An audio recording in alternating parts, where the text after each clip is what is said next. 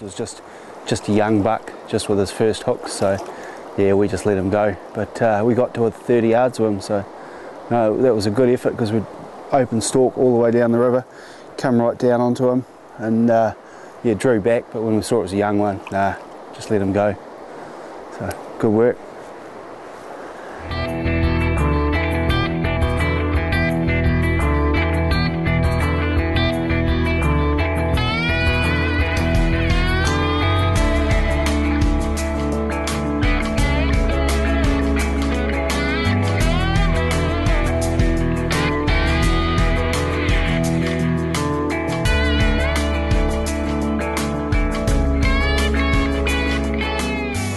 Were just about to break camp this morning. Uh, good weather. The wind's just coming nicely down the valley. So we're going to stalk up around, around here and there's a few nice grassy patches on the side of the creek and uh, good, good spot for a chamois and the occasional goat. So we'll stalk our way up there and see what eventuates.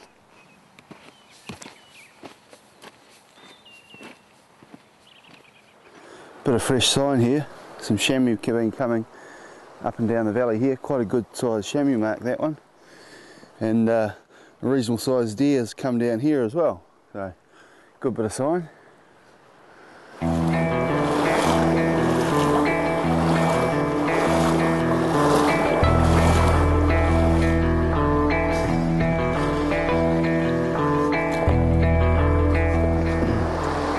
We're, we're trying to quietly sneak up on these flats up here. Uh, but the, the paradise ducks are nesting at the moment. So yeah, it's, it's possible that this duck here we can see in front of us might just uh, take off and fly around and around and squawk its head off. So it could be quite hard to uh, sneak quietly up on these flats, but we just got to do it. Nothing else we can do. So we'll give it a go.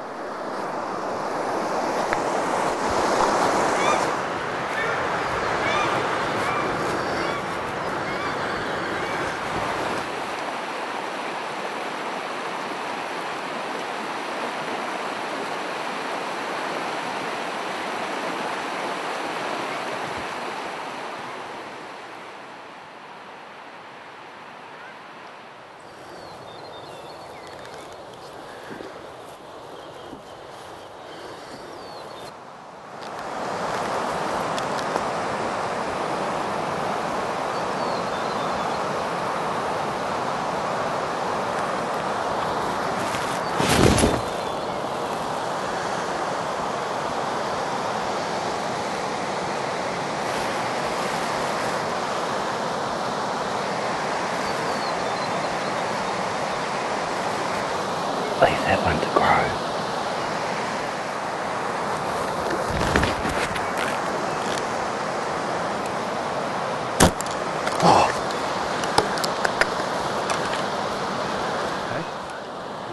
No, I put the 30 yard pin on it went straight over its back.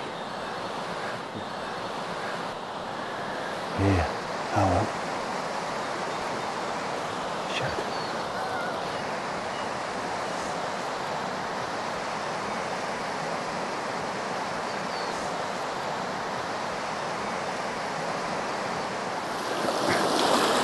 There's a, chamois up on the slip, it's got its head down feeding. There could be more there, but we'll, we'll just get in close under this bank and stalk our way up there.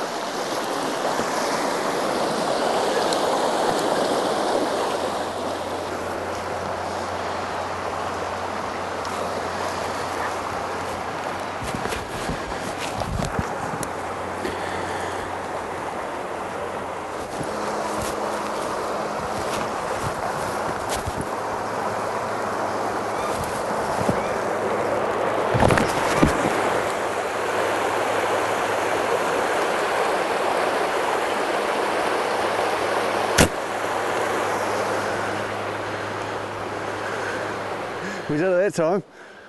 Okay, this morning we broke camp just after dawn and uh, snuck our way up here to this uh, chamois spot we got.